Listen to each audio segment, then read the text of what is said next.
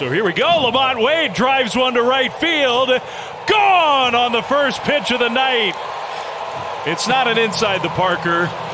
I'm not complaining. One nothing Giants. What a swing. Just trying to get a feel for this game. Chirinos is like, let me just get ahead. Not so fast, my friend. Chop house, here it comes. And that breaks the scoreless streak for the for the Braves that they had going.